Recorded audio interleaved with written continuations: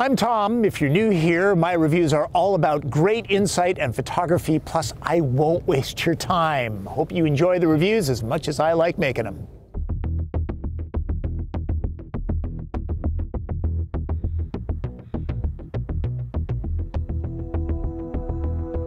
If there was an electric car in your garage 15 years ago, it probably had a Fisher Price Power Wheels badge on it.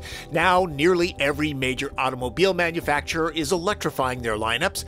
Audi offers up the e-tron, a five-passenger SUV sold with both traditional roofline and this raked sportback. Unlike a toy car, it's quick, holds five passengers comfortably, plus has a suspension and a roof. EVs have come so far. Audi is part of the Volkswagen family, as is Porsche. And if you're wondering if e-tron and Taycan share an architecture, the answer is no. At least for now, that will change with the e-tron GT. This one doesn't get Porsche's 270 kilowatt charging rate, but e-tron juices up fairly fast with an EPA rated range of 218 miles. It accepts commercial 150 kilowatt charging, and with it, e-tron goes from spent to 80% in a half hour or so. A full charge with home level 2 takes from 9 to 10 hours, you know, while you're sleeping.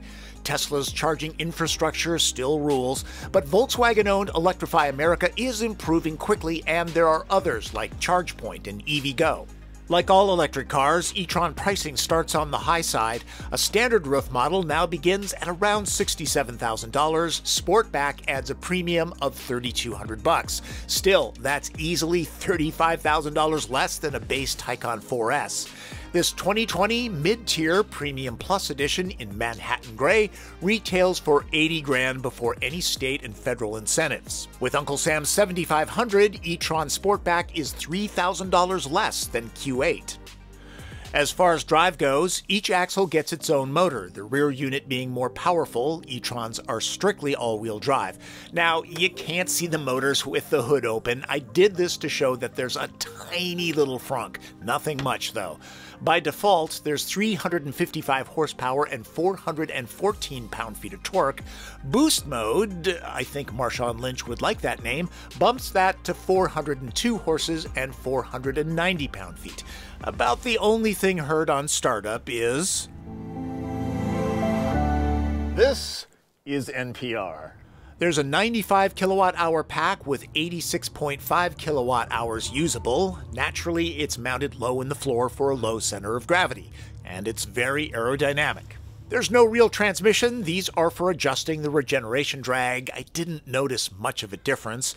The controller requires deliberate action to select drive or reverse with a distinct warning tone.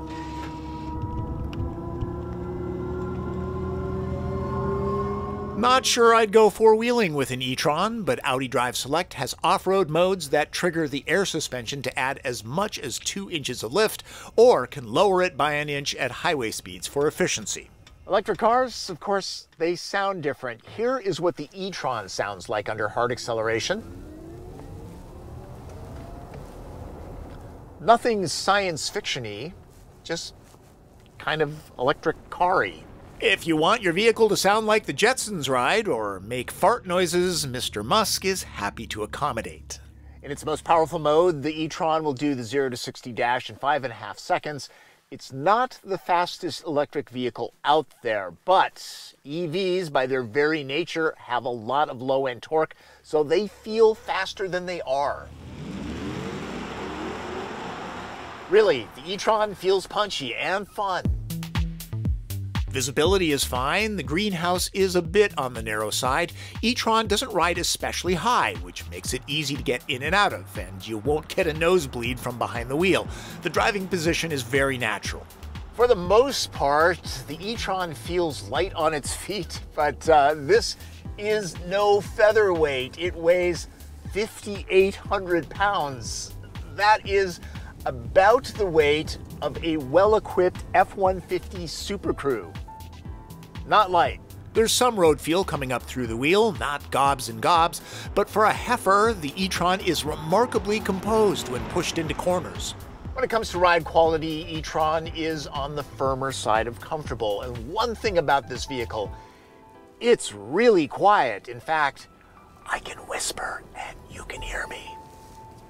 It's very, very quiet, as Elmer Fudd would say. Elmer Fudd was very successful. He could probably afford an e-tron.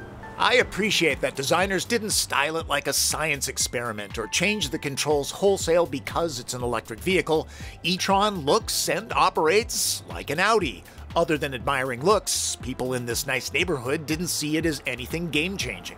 Let's talk about the brakes. The pedal feel when it transitions from regenerative braking to the actual physical disc brakes is really pretty good. And there is no creep when you lift your foot from the brake. The car does not move. You actually have to use the accelerator pedal. Now, this doesn't have anything like one pedal driving. It's just like a regular car. You have to use the brake pedal. Unlike a Power Wheels toy, e-tron's structure is majestically solid. No impact shutters, no creaks, no rattles, no wind whistling. Yes, it's expensive, but it feels that way. There's a solid suite of active electronic safety tech like emergency braking, adaptive cruise, and lane keeping. Nothing like autopilot or my favorite, Super Cruise. All right, let's discuss range. Again, the EPA rates e-tron at 218 miles. I'm seeing about 190. That's due in part because I tend to drive on the aggressive side. Plus, it's a little on the cold side. The average has been about 45 degrees, and that affects electric vehicles. So, you folks in Minnesota, take note. 190 miles a day, a charge every night, and that's nearly 70,000 miles annually. Nearly all EV charging is done at home, some 85%. A charging network is only critical if you can't charge where you live or you travel often. Know thyself. You may have heard, Audi is no slouch when it comes to interiors, and as always, this one's packed with materials that are soft to the touch. And it looks good, though it doesn't have the airy open floor plan that many EVs get. If you're lucky enough to hang out in a Q7 or Q8, the three screens will look very familiar. There's ambient LED piping starting at the Premium Plus trim level. An extra $4,300 buys the Prestige trim line that adds a full leather interior, fragrance and ionization from the HVAC system, and better seats with a mild massage function. But these chairs, that are heated and vented, are perfectly wonderful. I find the deep center console with fussy cup holders annoying, but the slip in wireless phone charging on the left works great. I've driven a number of Teslas and highly prefer Audi's setup with hard controls for important functions. It's just easier to get to things. The screens on the center stack are haptic, so they feel like pushing physical buttons. Nice feedback. Here's a crowd pleaser. People are mesmerized by the camera setup. It's actually kind of useful to check out your surroundings. The gauge cluster has a number of different settings. Chances are owners will find a setup that works well for them. The main interface has excellent touch response and a decent layout. It's simple and elegant. Android Auto and Apple CarPlay are standard and wireless. Also, the ChargePoint apps work nicely within CarPlay to find stations. A 3D sound Bang & Olufsen audio system is well done. Tiny gripes are door pockets that don't get mouse fur lining, and a large sunroof that could be even more panoramic. One thing that I'm really curious about why I'm so much better looking?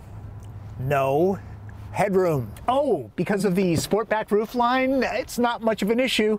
We're both five foot nine. I have that much, and knee, leg, and foot room, all pretty darn generous. Cushions are high enough so that thigh support is excellent, and the door openings are big enough. Car seats go in and out. Not much of a problem there. Door pockets, those are pretty big. Uh, one thing I'll say about the back windows, they don't roll down very far, do they? That said, everybody will be able to charge their phones. There's dual zone climate control back here, plus heated seats, yay. Also, not just curtain airbags, side torso bags. Those are optional. Floor's nice and flat. That's nice when you have three people, feet aren't crowded, and really, three adults will be okay back here. e-tron is really pretty roomy. As for design, the e-tron Sportback is a handsome machine. It looks like an Audi, and at the end of any day, that's a good thing. There are small little flourishes that my camera doesn't pick up, which give it interest and keep it from being dull. That's a hallmark of the brand. Uh, talk to any designer. It's hard to make clean design interesting. This Seattle guy wants a wiper for the back glass, especially with that degree of rake. Speaking of, I see the preference for the Sportback and the standard roofline to be a personal choice. I found a non-Sportback e-tron in my neighborhood. Here's a comparison so you don't have to switch to Doug's channel, just a little service I provide. I find the standard roofline to work better overall. Uh, maybe I'm just traditional.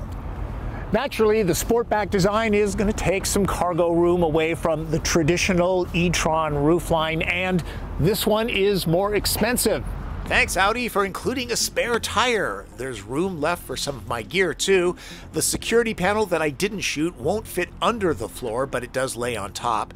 There are the expected doodads back here, too, but no remote seat releases? This is a premium SUV after all.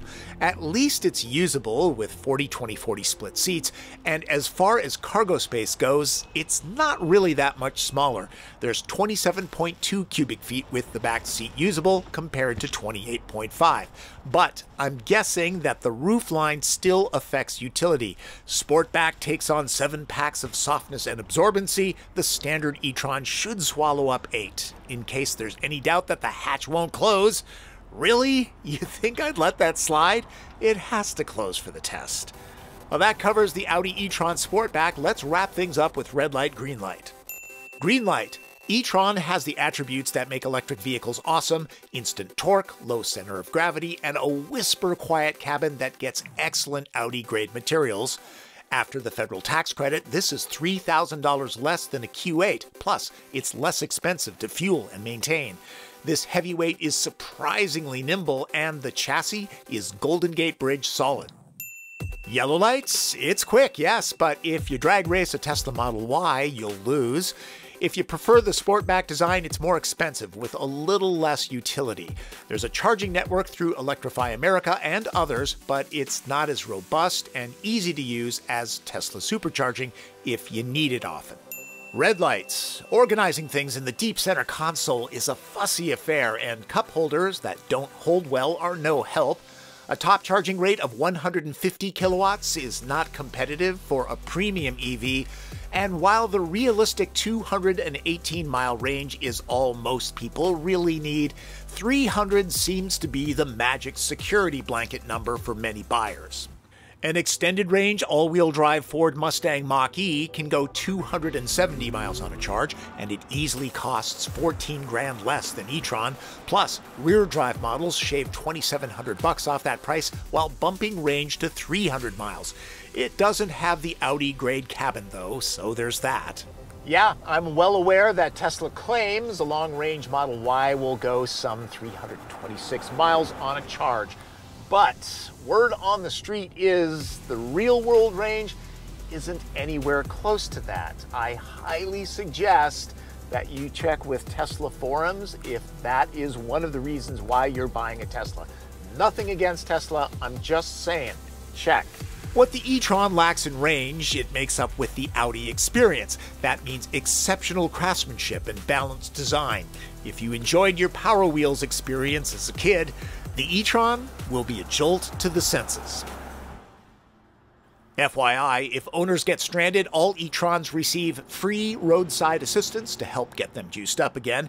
And e-tron comes with seven days of Silvercar rental, handy for owners nervous about going very long distances in more rural areas where charging networks aren't built out. Everyone wants to know why I don't drive Tesla cars. Well, actually, I do. Many of my wealthy friends have them, and I have access. I just don't produce videos. Why? Because A, Tesla is very hard to work with. B, they offer no press vehicles. It doesn't even have a PR staff. C, I spend days shooting and evaluating cars to give you insight. That makes it hard to borrow someone's personal ride. And D, my insurance rider doesn't cover borrowing personal cars. Yeah, I have a lot of expenses to cover.